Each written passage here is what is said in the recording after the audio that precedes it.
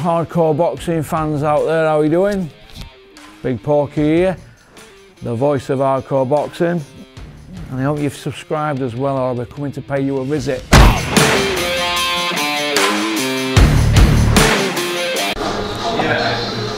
I'm Peter Fury and uh, don't forget to subscribe to Porky's Corner because I've been a helmet of the month and you need to listen to me. yeah? So follow him, yeah? And get the fella some followers up for Christ's sake. He wears his heart on his sleeve, the good man Russ. So follow Porky's Corner, says it as it is and uh, you know, I appreciate the helmet of the month, Russ. No problem. problem, thank you very much. You're welcome, mate. The bomber tattooed on his back is of course a reference to his potent punch power and not in any way insensitive to the tragedy which unfolded in this arena when Ariana Grande performed Manchester. We'll never forget. Oh, you hardcore boxing fans out there, how are you doing? Big Porky here, and still. Right, I'm going to get Smido from the Boxing Asylum on. Uh, let's have him on and let's have a let's have a chat about some boxing. Eh? What do you reckon? A bo- proper boxing chat. Now we've got helmets and weapon uh, out there. Let's uh, let's talk some boxing.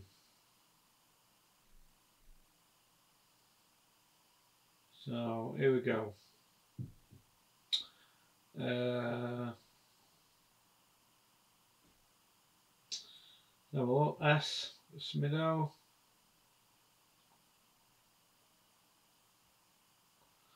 S. Um, here we go. Adam Smith, aka Smido.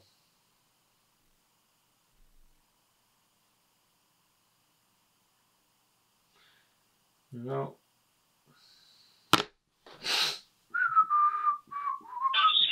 If you'd like to change your message after you've left it, please press hash. Is he not answering? Not looking good, is it?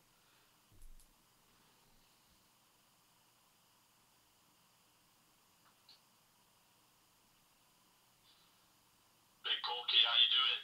Did you just ring me? Did you just ring me then? Yeah, just rang you. Oh, right, yeah, on a withheld number. Was it? Oh, Yeah. have been. Yeah, it don't matter anyway. I just don't answer withheld numbers because there's loads of trolls about, isn't there? Oh, um, young, youngster must have been on and changed the setting. It no problem, mate. You're how old, Jungen? Uh, 21, 21 months, I think. Messing with your phone at 21 months. Oh, I know, it's scary, isn't it? Scary. How are you anyway, lad? Are you alright? Not bad, yeah. Just been on a bike ride. Um, just got back. Um, bit, bit wet out there, but uh, Yeah. decent, enjoying it. 15 mile. 15 mile, lad, eh? Yeah.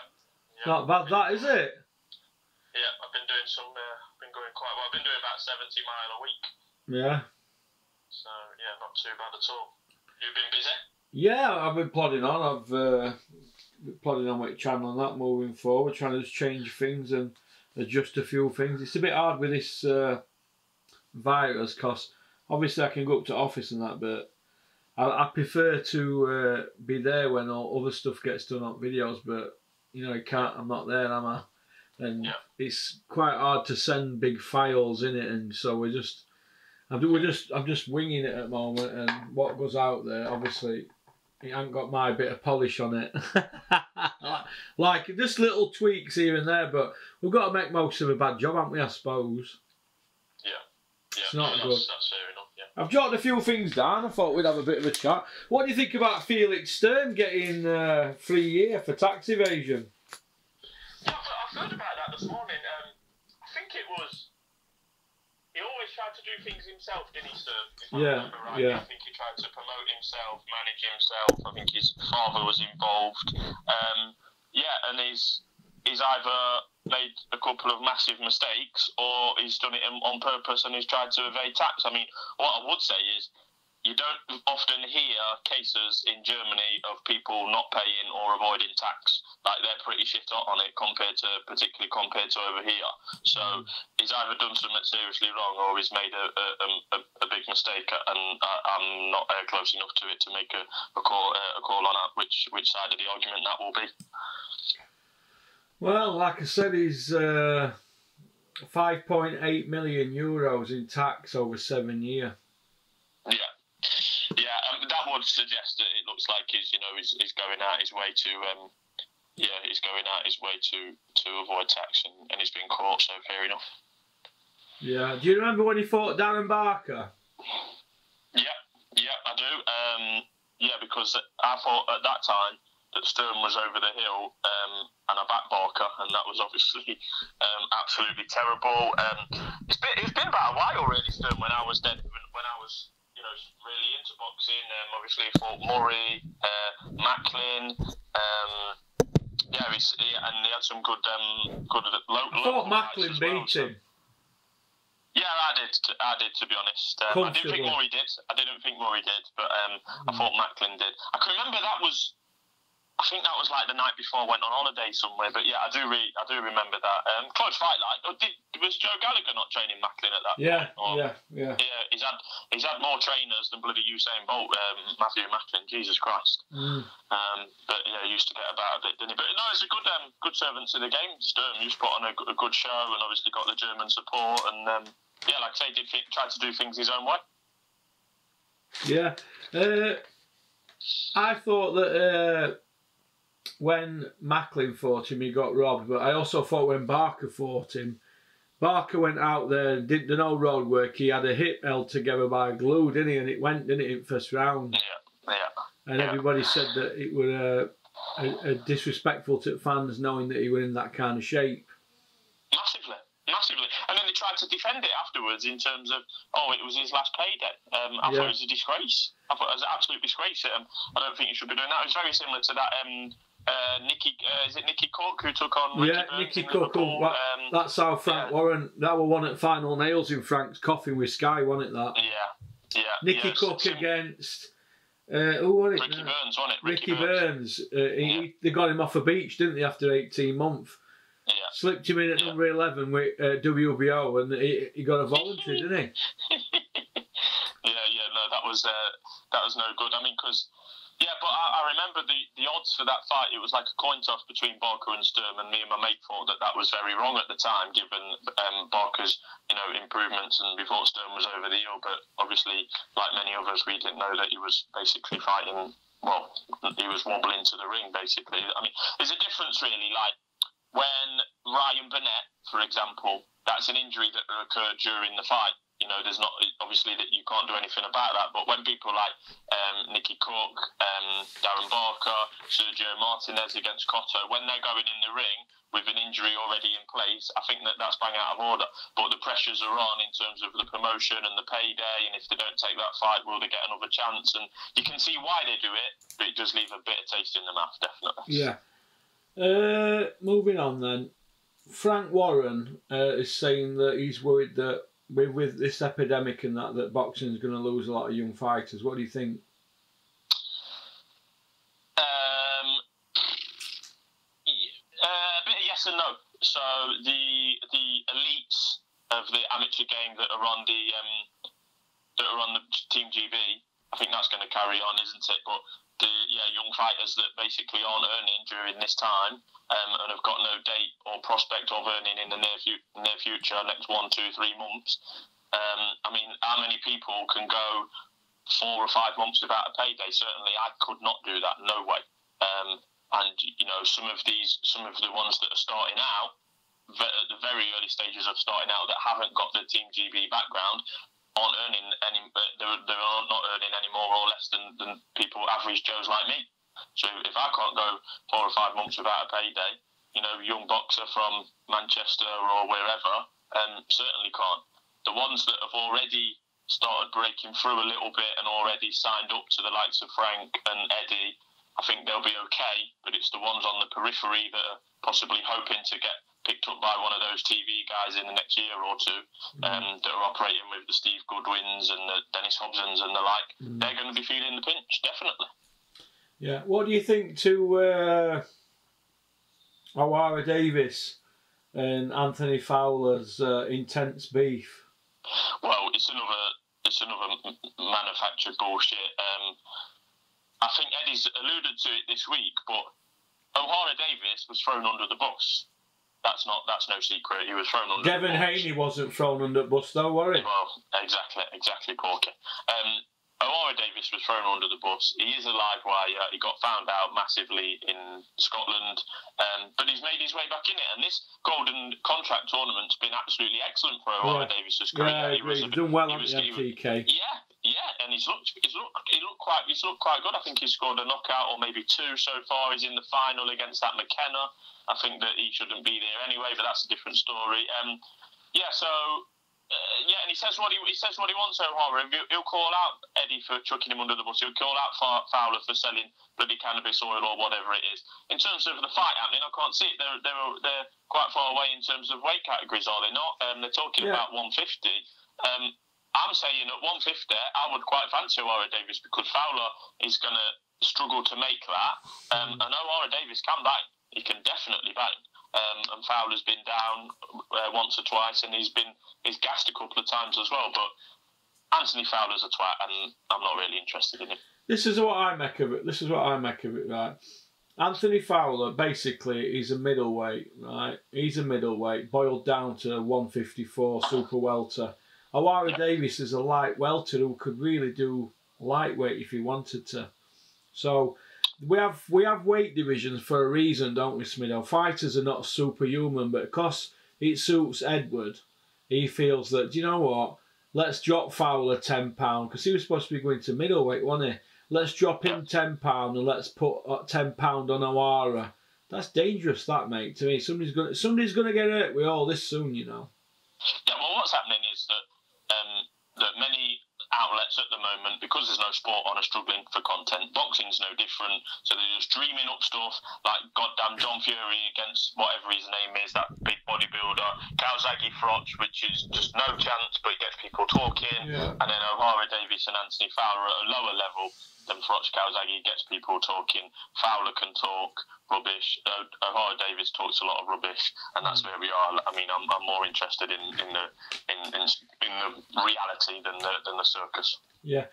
Uh, speaking of cir- the circus, right? Do you think that if we back up like eight year, Froch Bute, yeah? You say is it eight year? there, yeah. Eight year. I was there myself. Is it eight year next week? I think it is. Uh, May trying to think now. 2012. Yeah, yeah, that's right. Yeah, sounds about right. Yeah. Well, non non pay per view Saturday night. Bute, who was Yep. considered the man, one in the weight division, thirty. You know, Yep. he was supposed to be fighting Wardo Froch, the winner at Super Six. So Bute, thirty. You know, twenty four knockouts. Then you've got the Cobra in his hometown, right? Non pay per view Saturday night. Was that a great show? Yeah, of course it was. Good value on it for fans. What have we got now on a non pay per view on a Saturday night forward eight year later? What what is there? Well, nothing. Um, anything above um, anything above um, a British title fight is on pay per view now. Yeah. Um, you, you know, the best thing. The best thing. Correct me if I'm wrong. The best show that we had last year on Sky 2019, Sky Saturday night, um, to my knowledge, was um, the Newcastle show um, where they had um, uh, Cheeseman against Fitzgerald and um, Ritson. uh, D- Davies against Ritson. That was the best um, Yeah. that was on offer on, on Sky uh, regular subscription uh, in 2019.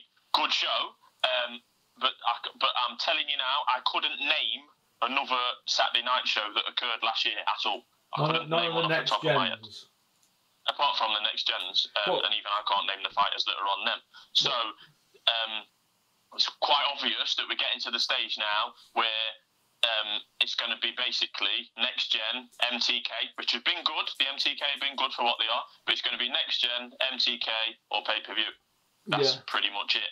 Um, I do um, struggle to compare eras in terms of oh well, Froch only had two pay per views and and you know, but No, he had three, seven, didn't he? Three. So I struggle to compare those because times have changed since then, Porky. Yeah. Um, time, times have come a long way. I mean, Carl Froch fought Jermaine Taylor and it wasn't even live on UK TV in a unification fight. You know, um, so I can't. I don't like to compare eras. Um, it's all part of the Anthony Joshua um, phenomenon, pretty much. Um, and and yeah, I, I just you know pay per view is, and I've said this before on your channel on the podcast. I'll keep saying it.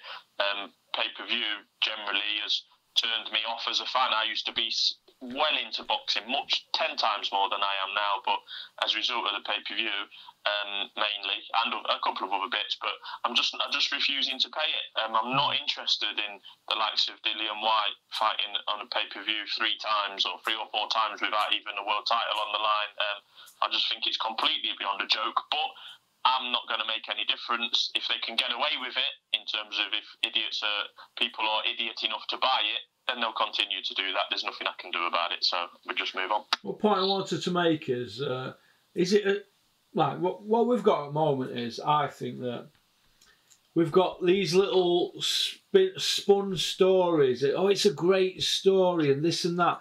Everybody seems to be wanting to in the boxing industry as a boxer or their managers. They want to get these great stories out there, or people they want to be controversial on Twitter if the fighters are funny or. And then what about the fighters like? I don't like to bring Josh Wale up because I sign him and people are saying I'm biased, but let's just have a little look at Josh Wale. He, he had his first amateur fight in 1999, right? He's trained by his dad and he's still with his dad. Married with three kids, works with disadvantaged kids. Never had a pint in his life. Very clean cut kid, yeah. He's got more wins than any other featherweight in Britain. 33 wins, right? He's got more than Warrington his record could quite easily be 39 and 5, right? You know, because he's been a away fighter. And then we have, I don't like to bring this up, but I'm going to compare it. We've got Dave Allen. He's had, he's had nine trainers. You could call it 10 if you count Dennis, right? 10 Has he really? Wow, I didn't know that. No, I'll read you his trainers out. Kevin Sanders, Michael Mars, and Steffi Ball twice, I think, so that could be 11, couldn't it? Peter Fury, Dennis Hobson, whether I think Dennis might have just been a cornerman, so I'll not count Dennis. I'm not sure on that. Adam Booth, Junior Witter, Dominic Ingle, Darren Barker, Jamie Moore. That's nine, isn't it? Right. So is it David Allen or is it the trainer? Oh, it's got to be Dave Allen. Now Darren Barker said, "I want you to retire. I don't want you to get hurt." But Darren Barker also said, "Tell Frank Warren you want another hundred grand on top of your two fifty to fight Dubois." So then, it, then when Frank said no, Barker bailed out on him, didn't he? But so if he's saying you need to retire, why is Jamie Moore picking up the mantle? Well, and I think that at times he's not like gone as far as saying I want you to retire, but even Eddie Hearn has said you know about keeping himself safe or he's better off away from the ring for a time being. Um, I don't know. I mean, we spoke about Dave Allen before.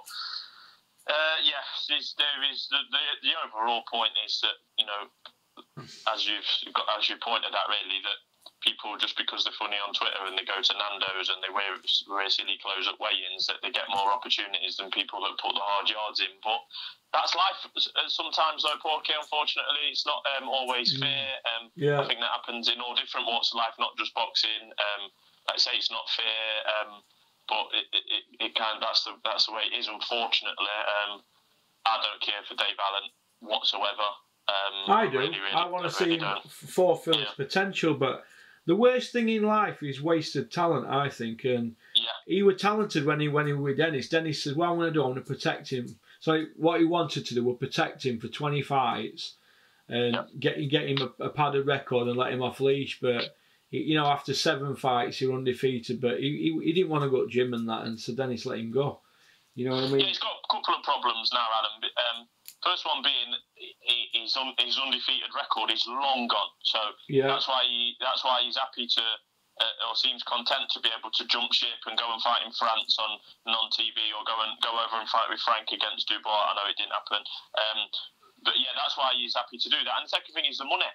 He's spending the money on gambling or whatnot or drink whatnot. Um, Don't drink. He needs, yeah, he needs, he needs well gambling and he needs the money. So that's he's in a dangerous position. He's, he's going to end up doing doing harm to himself, to be honest. But like you say, Porky does appear at times to show flashes of, of talent. Um, mm. I think we saw it a bit against Lucas Brown, um, mm-hmm. and I think Nick Webb also. But you just don't know if he's going to train or not, and that is not good enough for someone that thinks there should be fighting headline on, on Sky Saturday night. It's not good enough at all, no. at all. No. And yes, people like Josh Wale must look at it and think, bloody hell, what have I got to do? Josh Wale's been been down a, fruit, a few dead ends in his career, but you know he's undefeated in how many fights now, Porky? He's four and zero with us. So Do you know what I mean? He's doing, he's he's, he's putting the work in, compared, particularly compared to idiots, basically like like like Dave Allen, and and he, and a lot of his behaviour. Uh, recently has been idiotic, and that's the only way to describe it. Josh Wale's, an area champion, English champion, British champion, Robford European, and he's, he's got a belt now with IBO International. Probably going to be fighting for uh, another belt uh, October 9th in Barnsley. But he's put the time in. He don't get a look in. He don't do views on any channel when he goes on any channel because uh, he's just a nice kid. He's just a nice kid who, who's genuine. I'm not saying David's not a nice kid, but I, I think that uh, we're all losing his mind. We, it's a great story or the funny on Twitter and all that. Let's get whatever happened to working your way up the rankings and going through the levels. Yeah, yeah, oh, that's long gone. What's long a nine and zero? What's a nine and zero fighter like Dave Allen doing in there with Luis Ortiz for for uh, twelve grand? That's Yeah, before that. stoppages. Yeah, yeah, wanted the payday. Yeah, they're, go, they're going through the levels as yeah, it does appear to, to be long gone. But the only the only difference is in boxing is that you can work you that you can work your way through the rankings and force yourself, regardless of whether you're on Sky or whether you've got hundred thousand followers on Twitter. If you want to if you want to put the work in, you know it should come to you in it should come to you in the end in terms of a title shot. If you're good enough, get in the rankings, and away you go. But obviously that's easier said than done. Yeah. Right, moving on then. Uh, you've obviously turned your YouTube on. You've got everybody who's involved with Sky. Obviously, they're not at work. A lot of a lot of these pundits, a lot are not at shows, so they're not getting out there. Every time I turn internet on and go onto YouTube, I've got videos that with Nelson, Bean, Barker, Caldwell, Bellew, Tyson Fury. Everybody and the dog seems to be doing these fitness videos or getting themselves out there. They're eating off our plate now, Smido. Well, yeah, possibly, but you can't really blame them. Um, they're either getting paid to do so, in which case, then again, Yeah. you can't blame them, or they, like you say, they just need to keep themselves relevant. Um, again, it's not anything that I really go out my way to watch. Um, yeah, if they want to, if they want to do that, crack on. Um, it's part, it's part of the game now. It's part of the game, Porky. Keeping. Do you remember when everybody used to take Mickey out of uh, us lot years ago? When Yeah. boxing asylum, they, they used to hammer it, didn't they? Fighters and that. And now, have you seen what's happening now? Yeah, yeah. Well, I mean, there's to be honest, right recently the asylum have had some great guests on. Yeah, Uh, that right. Haney fella last week that's been signed by by Frank. So, yeah, um, yeah, it's, it's interesting. Like we've had John Ryder on again the other week, and then a couple of days later he's on with Coogan. Um, yeah, I, like you say, they are kind of eating off our plate at the minute, but it does show that in some ways we're on a similar similar level to, to the big to the big boys. Um, like say John Ryder, who's been he's been on the podcast many times. Um, yeah, so you just I gotta- like him, John Ryder's a nice kid, isn't he? Yeah, yeah. And he got yeah, robbed he's- against Smith, didn't he? I don't, I don't go down that avenue personally, to be honest, but I can see the argument. But I, I remember I spoke to you quite soon after that. I don't go down that avenue of of, uh, of he was robbed. It was a close fight, and unfortunately he was on the wrong end of it. But robbery, not for me. No. No. Smido, the voice of reason. The voice of the casual boxing fan, yeah. uh, okay, then moving on. Uh, I've got another one here for you. yep. Uh, Frampton, what do you think next for Frampton? I don't know. Um, and I heard you ask that question to Steve, who's who's a lot closer to it than me for obvious reasons. Um, Frampton. Um, I thought that Frampton's X factor and appetite for the game left him the night that he was beat by Santa Cruz in the rematch. Um, he's carried on and he's had a couple of okay performances um, since then. Fair enough, earning a, earning a pan, no no problem with that. Um, I thought he was soundly beaten by Josh Warrington in, in what turned out to be a really good fight. Um, this that tall fella, what's his name, who is meant to be fighting next from America? Um, does it begin with H? Uh, Hooker, Maurice Hooker, is he meant to be fighting? Or have I got that? yeah. Oh no, that's the wrong way. Um, whoever he's meant to be fighting, that yank, the really tall lad. Um, I can't see that being a good idea for him. Um, Herring, is it. Jamel Herring? Herring. Yeah, sorry, Herring. Yeah, not Yeah. Hooker. Um, I can't see that being a good idea for him stylistically, but um, I think he's got a. I think he's got a belt, has he not? Herring is is he a belt holder? Yeah, I think so. Um, Yeah. WBO yeah. in it. the Warrington rematch, which I wouldn't have a, a big problem with, seems to have gone out the window because Warrington's across the road. Um, so yeah, I've it's always been a an entertaining fight for Frampton. I was really hot on him, you know, when he was beating the likes of Martinez and obviously Quigg, Santa Cruz. Um, he was on a great roll. I think he was fighter of the year or, or second place fighter of the year at what, in one of those years. But you know, as as happens with most boxers, um, he's getting a little bit older, a little bit slower, you know, and he's just to he's moved up a, a, a weight as well, which which isn't um, which isn't ideal for, for everyone. And you know, he's just on the other side of the mountain at the moment. I'm not saying he's, he needs to retire or anything like that, but I just think his, his X factor's gone. But I, I'll watch his fights, no problem. Yeah. What do you think to uh, Julio Cesar Chavez Jr.'s uh, issue with Nevada State Athletic Commission, Smido? Is this an extension of why you didn't fight um, a few months ago? It was meant to be fighting Jacobs, yeah. Um, I don't know. I don't know the details of it really. He's an absolute waster. Um, has been for, for for many years, to be honest. He's spent way too much time outside the ring pissing about with um, marijuana or drinking or what, whatever he's been doing. Um, I don't even know what must be going through his dad's mind, honestly. Um, but um, I think what he's what what the junior what junior shows is that um, the you know the old nature versus nurture argument. Um, he's grown up in a vastly different environment and a vastly different world to what his dad grew up in, and look what look what the end result is in terms of Yeah. you know his dad was his dad grown up poor in Mexico while his son's grown up a, a, you know a, a proxy millionaire in California, and, and look at the difference in attitude and, and output in life. But I'm not I'm not really interested in him to be honest. I've always found it very strange actually that the Chavez Jr. Um, interest in America because he's never really done it in the ring for me. But there's but yet he's managed to get you know big fights and always big. He always was getting overpaid for years. He ended up fighting Canelo, which was a farce, and you know I know Sergio Martinez he got beat for 11 and a half rounds. Um, the, yeah, it's just not there. It's another one where the talent versus the pay, um, and the yeah the talent versus the pay and the hype and the interest just doesn't weigh up, does it? No, it done. It done. Uh, moving on then. Whyte against Povetkin. They reckon that could uh, probably be first one behind closed doors. What do you reckon? Yeah, they're on about it. Um, well, yeah, again, Dillian Whyte, another pay, another pay, headline of a pay per view, whereby it, there's no world title on the line. I mean, they failed God knows how many drugs tests between them, Five, is it five or six? Something like that. I mean, what Povetkin, how old is he now? 40 odd? 42, is Um, it 40, 41? 41, is? Yeah, it- it's been propping up Sky pay per view um, undercards for, for some time. Obviously, it's for AJ Price. Um, I think someone else in there somewhere. Um, Hunter. yeah, just no interest. Just no, just no interest at all. He was getting absolutely battered by Hunter. Um, I've just there's just no honestly, Paulette, if that fight was was on a Saturday night card and I didn't have to pay, I probably still wouldn't watch it. I'd probably still go out that Saturday. Um, That's how interested I am in that fight. I'm not interested at all. Dillian Whyte. So just imagine that Dillian Whyte is the the third the third biggest pay per view star in this country behind Fury and Joshua.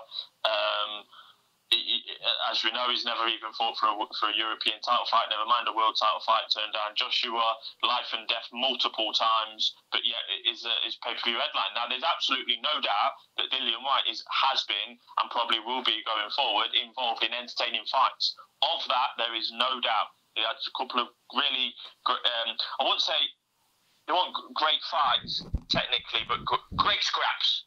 Great scraps with Chisora, um, who shot to pieces anyway, but that's a different story. But it's been in entertaining fights, but that don't mean that I should have to pay twenty or watch him against a forty-two-year-old Judgy who's lost four, you know, four or five fights.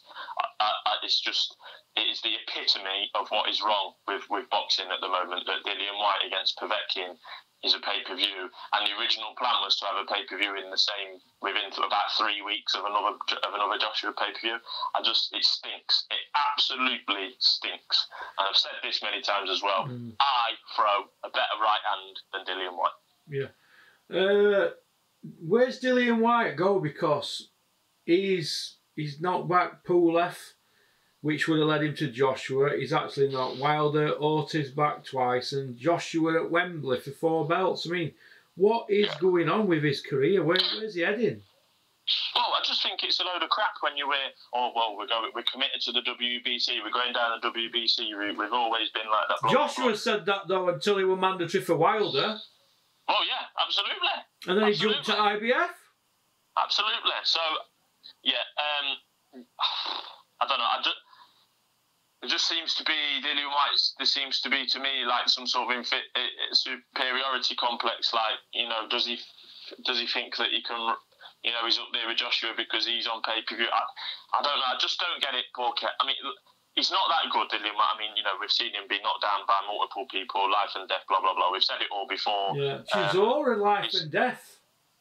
I mean, I mean, so we've got like Chisora, um, Pot, he's got knocked down by Parker nearly out in the last round.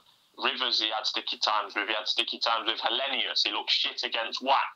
Um, you know, the, the list goes on. The list goes on, but yet he talks like he's the most avoided man in boxing. When he's been avoiding, he's been doing the avoiding himself. The can man. It's a joke. It's a joke. He's the can He's man, he says. Mm, well, what a load of sh- what a load of crap. Honestly, honest, honest to God, the Chisora Pivet. I mean, sorry, Whyte Pivecki. I mean, I've moaned about Whyte. You know, on, even on your time, I've moaned about Whyte before, but this against Povetkin's the. I mean, it's meaningless, Paul Kett. In terms of, is it a final eliminator or anything like that? There's obviously no title on the line. It just feels meaningless to me. At least Oscar Rivas was some sort of final eliminator. Genuinely, it was, wasn't it? Yeah. Um, because they wouldn't have brought Rivas in really for a pay per view. You know, no, no one, no one heard of him beforehand, including me. Um, but this Povetkin just feels poor. I, don't, I just don't see what the point is, other than we're, we're basically having takeover fights as main events on pay per view because it's not far off that. I Yeah. mean, Povetkin is, is well skilled. Don't get me wrong, but he's well over the hill. Um, yeah, he's well over the hill. He was looking absolutely toilet against um, Hunter before they got some sort of miracle draw on the scorecards. It's not far off a takeover fight, and it's and it's main event pay per view. Um, in terms of behind closed doors, it don't make any difference to me. I watch sport because I want to know what's going on on the pitch. I don't turn on sport to listen to them sing "Sweet Caroline" in the in the crowd, so it don't make no difference to me. Um, if it's if it's in a studio or if it's at Manchester Arena, um, you know, if I'm if I want to watch it, I'll watch it. I don't care if there's any fans there or not. All right. Uh, moving on then. Uh, the disappearing man has popped up again. Tony Bellew. Oh. He's on. He's now doing a, a, a podcast we earn. He's on SAS, Sky Soccer AM. He's a Sky pundit. He's been on Family Fortune. He, he's everywhere. He's now wants to fight Andy Ruiz. What do you think to that? Um, I, but I think that's a nothing story. Again, you know, people are hungry for content. Um, whether that's talking about Fury fighting Joshua again or whatever. We, uh, we mentioned a couple of them earlier. Fox Calzaghe, um, Tony Bellew. Um, oh, you've really hit me, uh, Porky, with the two people that I Mr. get most, uh, Belt. a- yeah, the most animated about Bellew and Dillian Whyte. Um, Bellew was pretty much a fraud. Um, he's basically robbed the British public of two. Uh, he's retired. Uh, basically, he's retired a rich and happy man on the back of two uh, daylight robberies. Um, in terms of um, fighting David Haye on pay per view twice. He's Um, four four pay per views. He's had him Bellew four. com- complete circus. Um, we found out how good Tony Bellew was in his last fight, where he got absolutely peppered by um, by Usyk. Um, you know, fair play for him to take in that fight. I didn't think he would, um, and he did, and he got peppered. Um, he obviously made a comment somewhere at some time in regards to I just want to be left alone. I'm going to retire quietly, and he's done completely the opposite of that. Um, I think you said actually quite soon after he announced his retirement that he would be back. Um, you might be right. Can I see it? I, I don't know. It's like my only problem with Bellew. I think he had two two fights at heavyweight. Is that when he was in that period, he was talking about you know I wouldn't fight Joshua. I wouldn't fight, but I would fight Wilder. I wouldn't fight Fury because he's too big, but I'll fight Andy Ruiz. You can't be a, a heavyweight and be that clear cut in your picking, choosing, ducking, whatever you want to call it. Anyway, um, I think he's irrelevant. He's a little bit of a, he's, he's a bit of a personality, Bellew, to be honest, and that's why he's on shows like SAS or whatever. I've not watched it and Soccer AM. Um, I just think he'll be he'll be knocking around for ages, uh, and he'll be on podcasts and ringside and whatnot. But yeah, he's always got that comment to cut to that people will throw at him like me and you, and he said he, he wanted to be left alone. Well, looking through Bellew's record and Dillian Whyte's, Dillian Whyte's won a British, but that were vacant, and he's won a WBC Silver vacant, a WBO International uh, vacant, and uh, what they call it, Bellew's won a British Commonwealth European and a WBC all vacant. So they, they've got all vacant belts. Do you know how many world title wins they've got between them both? Who, Whyte and Bellew? Yeah, Uh, Bellew two, two. two, yeah, Ilunga. Makabu and BJ Flores, which was a shocker. Which was shocking. And Whyte's not even been in for a European title yet. But yeah, the Whyte, is he on his fifth pay per view next? Whyte? Bellew's on his Yeah. fifth next if he comes back. Like I said, Carl Froch had three pay per views. Is this a case of, well, they do numbers on IFL, they're out there, they Oh, yeah. get themselves out there? Yeah, the short answer, unfortunately for, for us, is yes. That is that is the case. Yeah. Yeah, and it, do you think that's what's wrong with boxing at the moment, Smido? Yeah, massively, massively, massively. I would say that, um, for example, and obviously there's a bias towards the heavier weights, and there always has been, Yeah. particularly heavyweight itself. But I would say, for example, that Josh Warrington's got more, um, more, more talent and, and has put the performances in than, than most people in British boxing at the moment. Yeah, um, he's got a great record, hasn't he, Josh Warrington? Oh, he's over. He's massively overachieved from what from what when he first came onto Sky, in his fir- the, the second phase of his career, if you like. When um, yeah, when he was first with Sky, um, you know, we thought, oh, he's going to get beat in his next fight. He's decent. He sells a ticket, you know, um, but he's going to get beat at European level, and he, and he surpasses that. And then he's going to get beat at world level, and he surpasses that. And then he's unified, and oh, surely he's going to get beat. So Josh Warrington for me you know, nice kid, put the work in, has overachieved, but you know, gets ten times less coverage than um, Tony Bellew and half as much coverage as, as goddamn Dave Allen.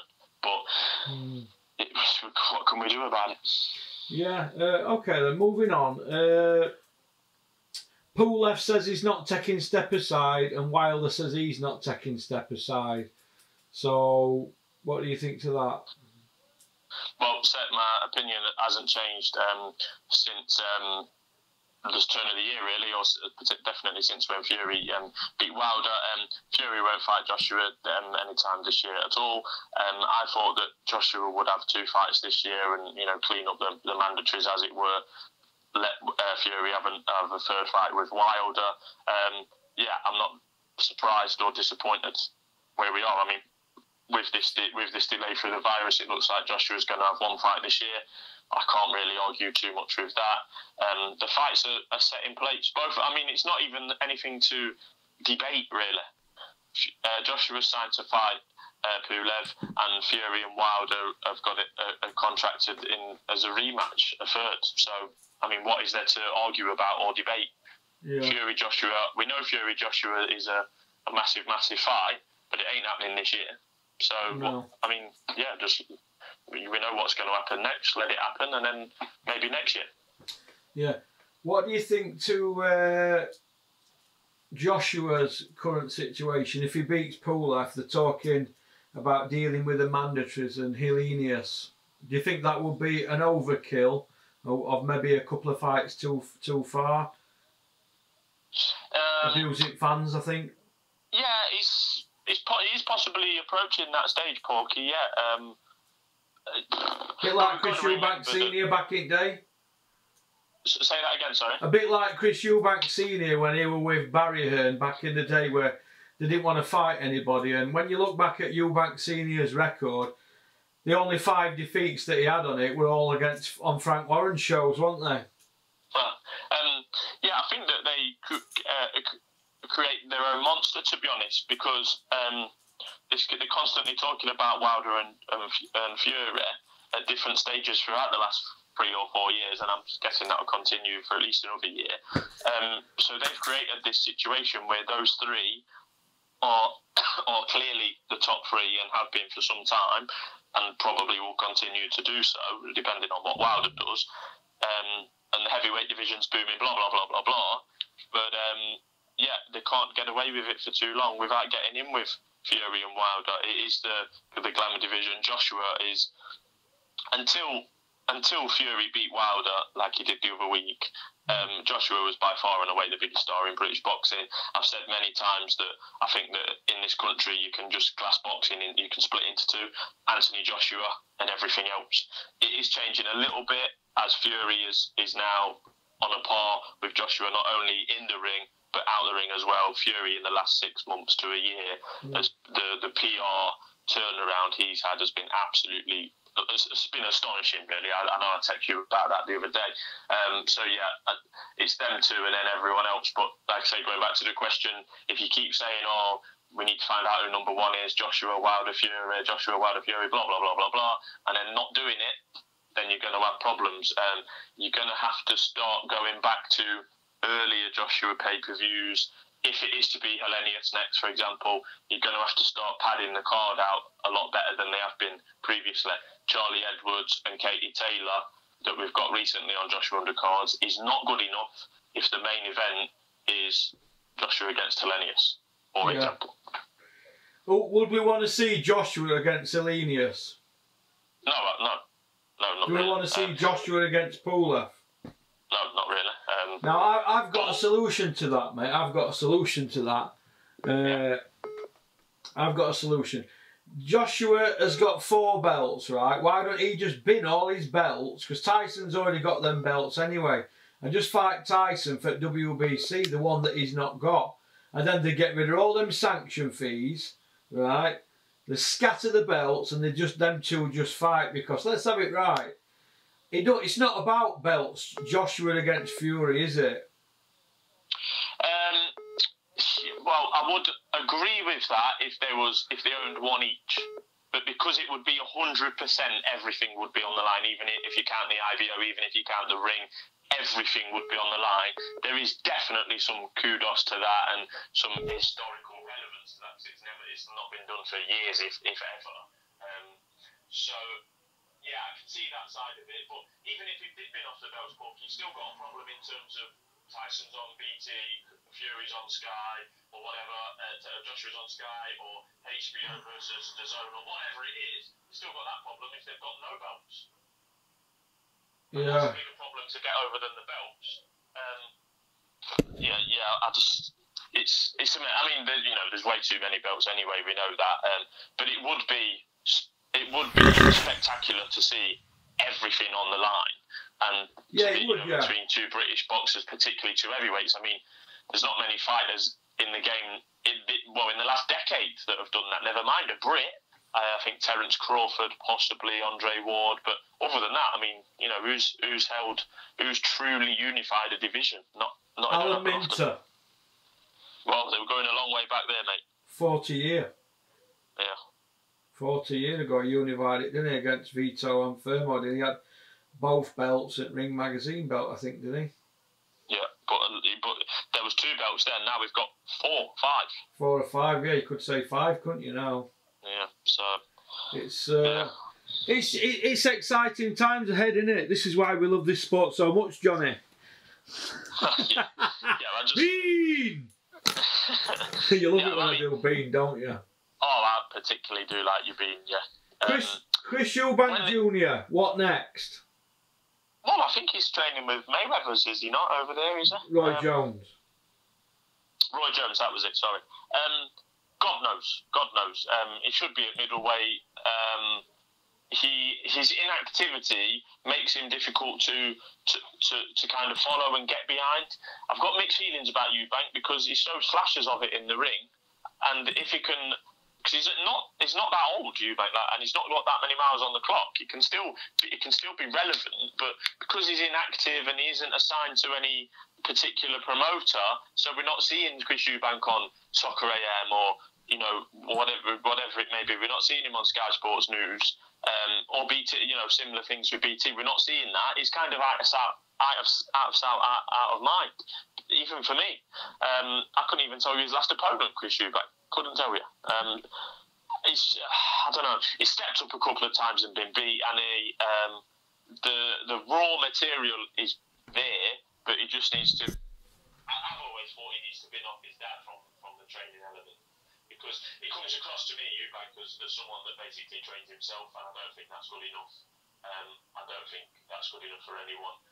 So if he is genuinely going out there and genuinely training with Roy Jones and, he's, and the old man's not, not in the way, then fair enough. There's you know there's always big fights for him. Just with simply with that name, there's always big fights for him in Britain.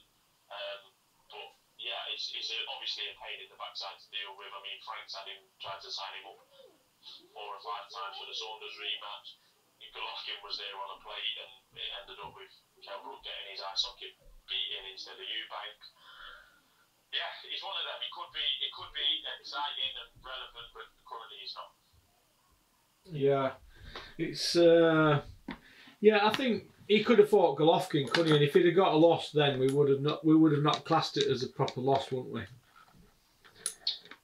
We would have said it's Golovkin, wouldn't we? You know, he, would, he was supposed to lose. Yeah, and he'd already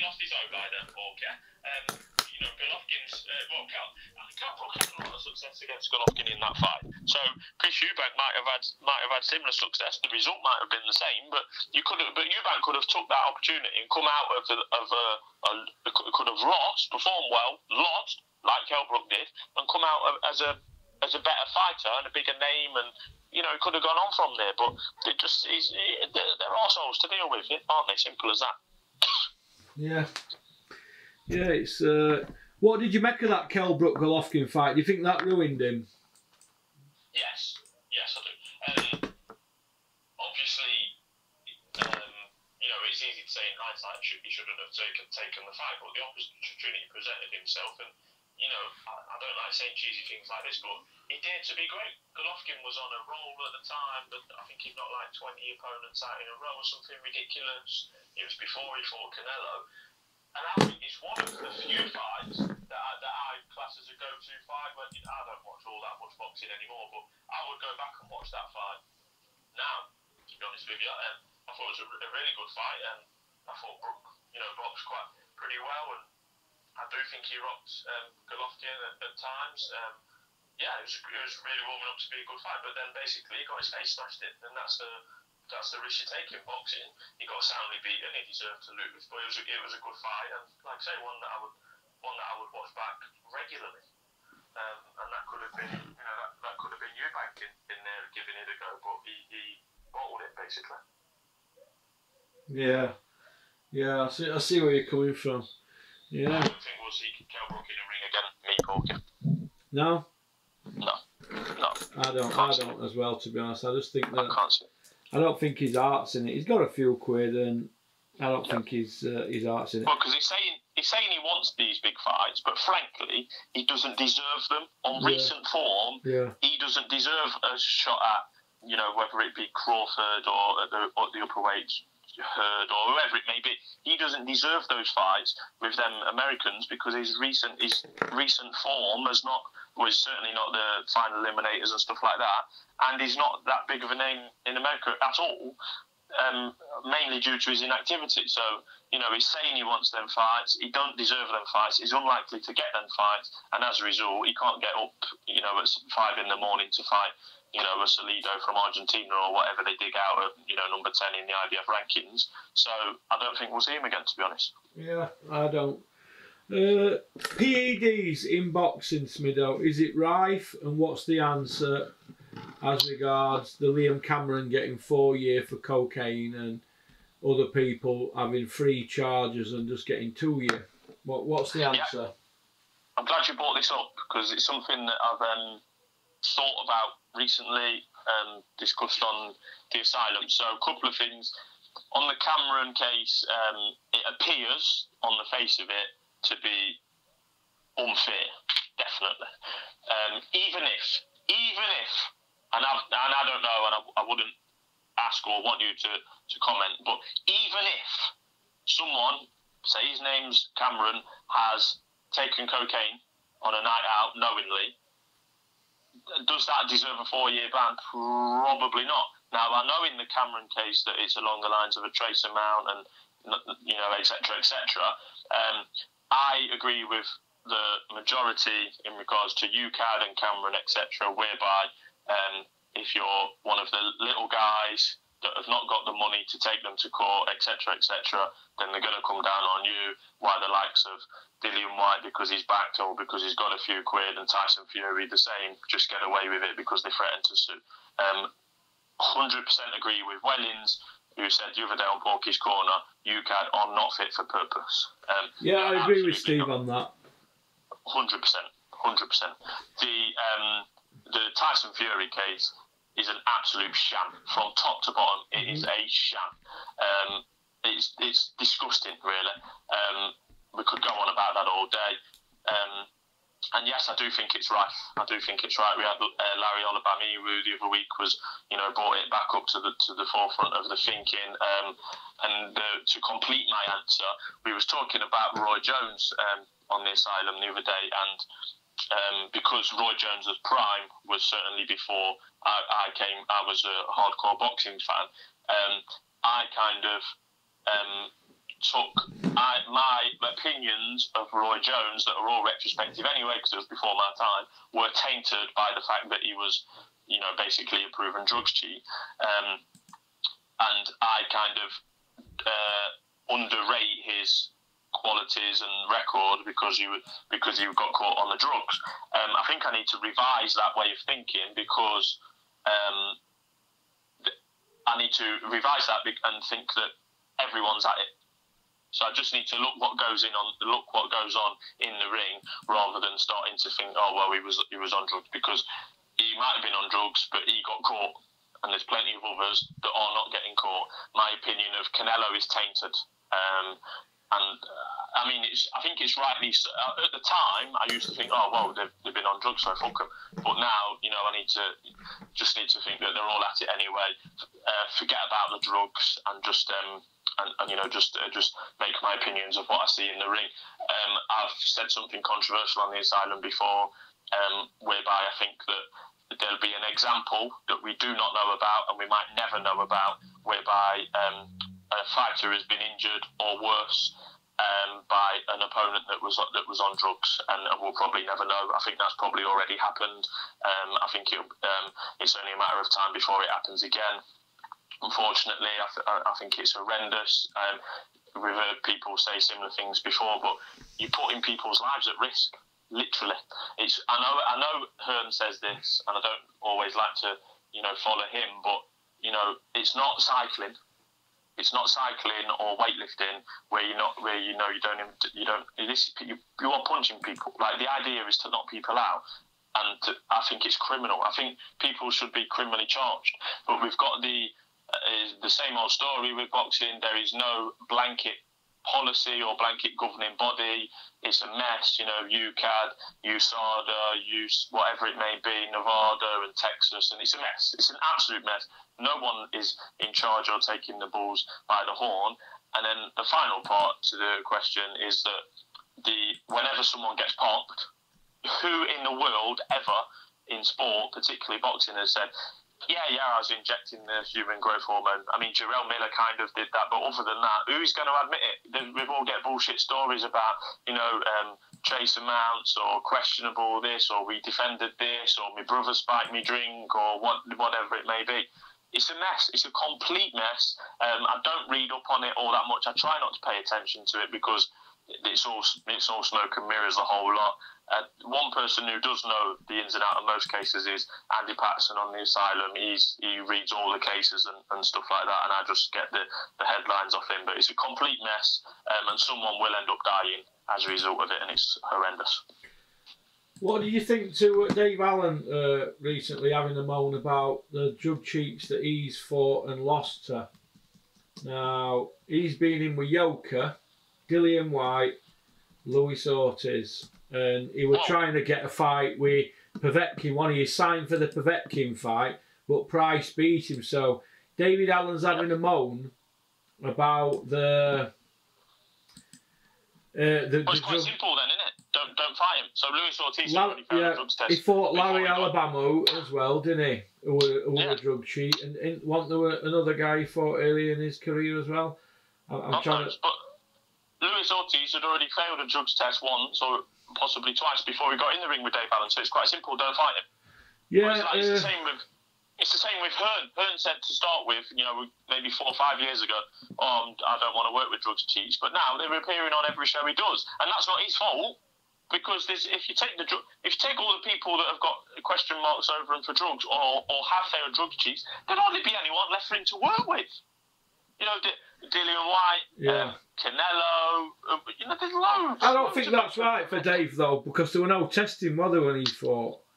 You know, in them But again, that's his fault, Porky, or that's his manager's fault for not having, Yeah. for not insisting on the testing. Yeah.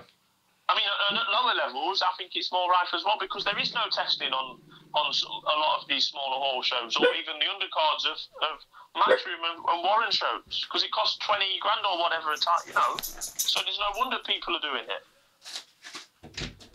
Go on, two seconds. Go on, Rocky. Out.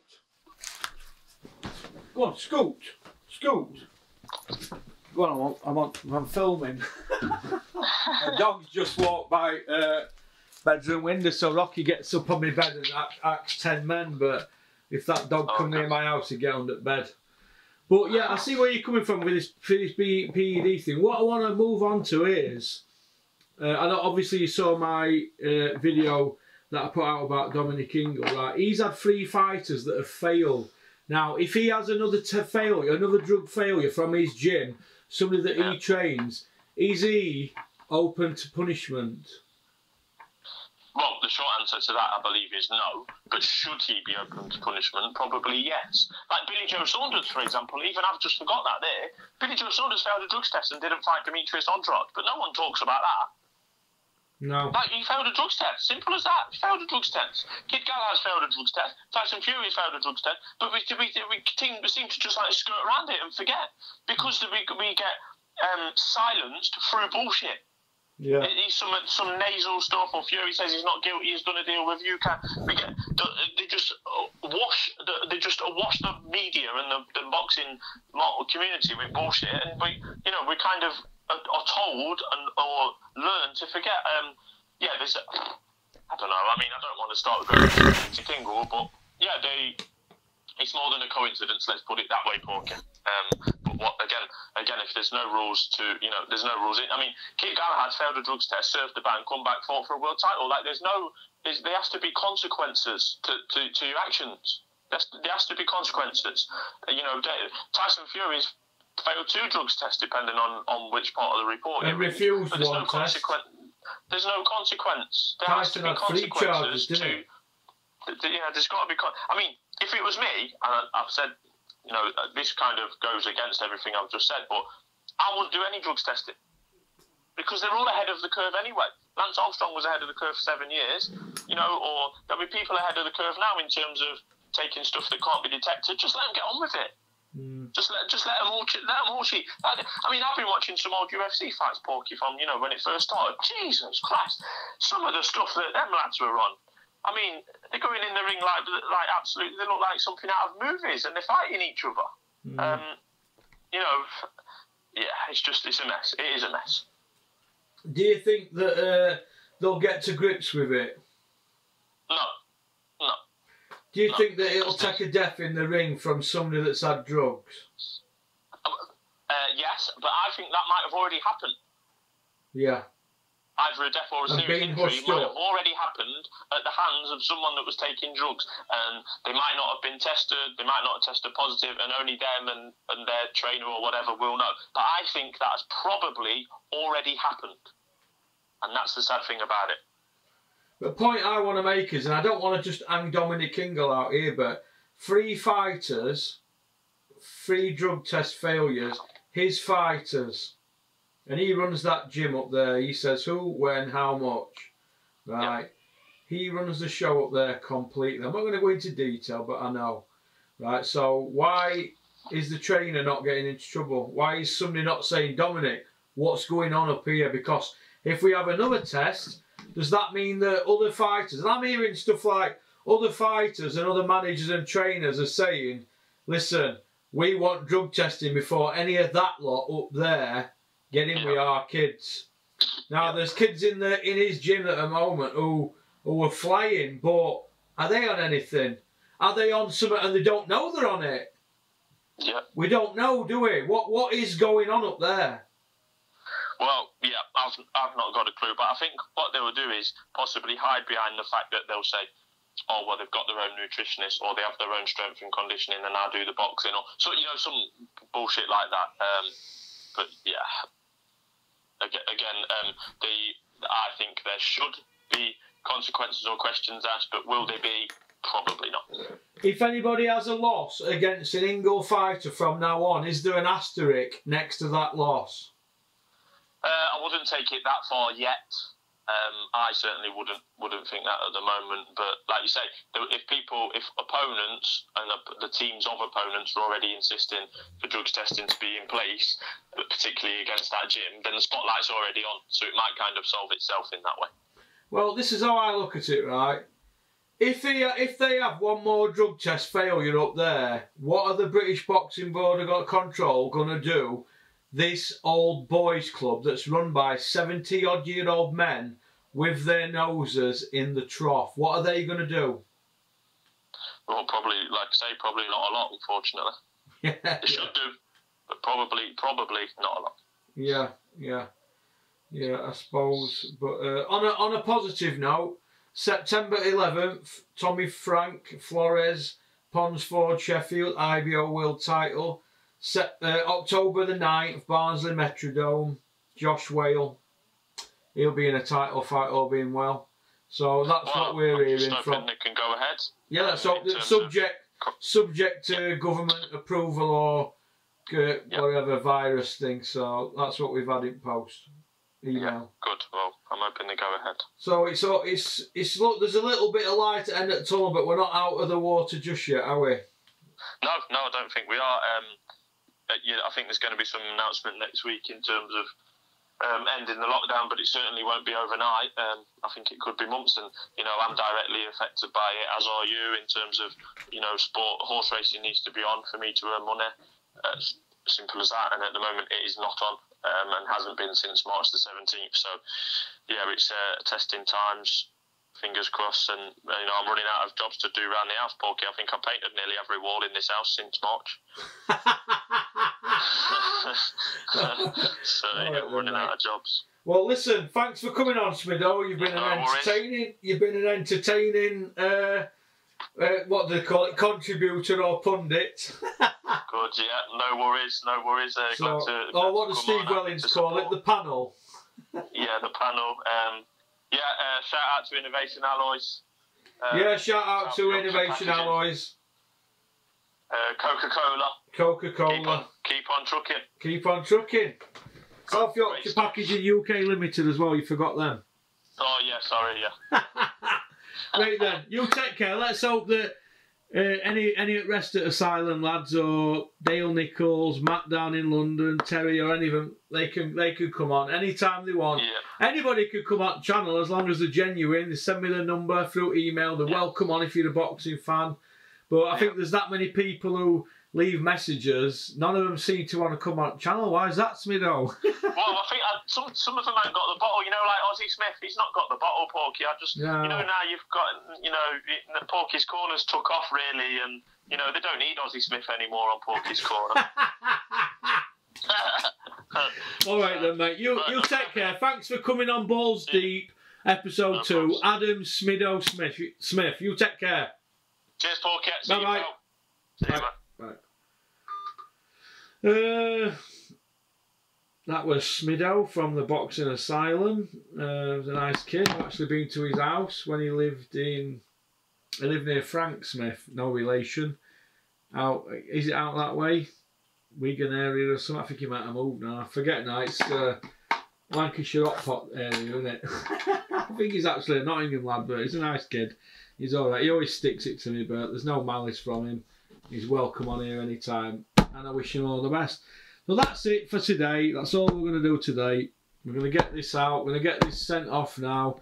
Stick a few spinning uh, boxing asylum logos in to, to get the to get a bit of uh, bit of PR out for them lads because they've been doing it nearly eight years, I think. Them lads, and they, they do it for free. They give up the time on a Sunday night, and it's one of my favourite programs. So, all right. So peace out. Keep on trucking. Keep supporting boxing. Shout out to uh, Terry and Rico in London. Be getting you on shortly. All right. Peace out. Onk, oink.